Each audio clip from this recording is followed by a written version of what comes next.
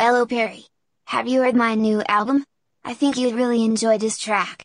Can you shout out to the Prince of Darkness? Ozzy!